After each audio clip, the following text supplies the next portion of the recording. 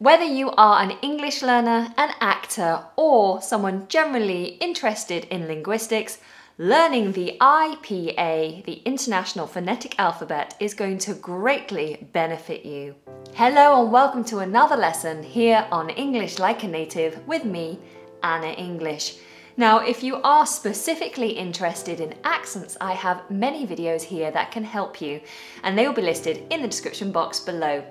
If you are an English learner, then you are in luck because there are hundreds and hundreds of English lessons here, especially for you, with many more being released every single week. So make sure you press that subscribe button and the bell notification button so you don't miss out on future lessons. So, the International Phonetic Alphabet. The phonetic alphabet is literally just a way of writing down sounds. So if you want to know how to pronounce any word, once you know phonetics, then you can look up that word in the dictionary and normally next to each word there will be the phonetic spelling. That means you can see exactly how that word is supposed to be pronounced. And that's why it's so helpful. So what are we waiting for? Let's get started.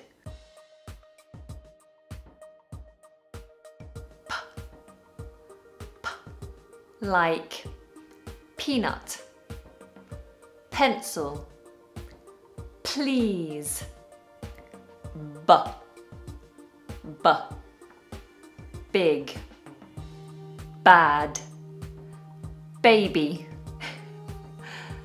t, t, take, two, turtles, D. D. Donuts.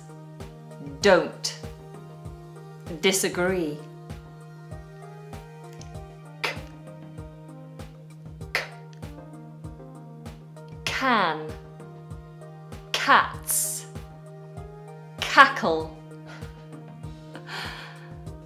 G. G.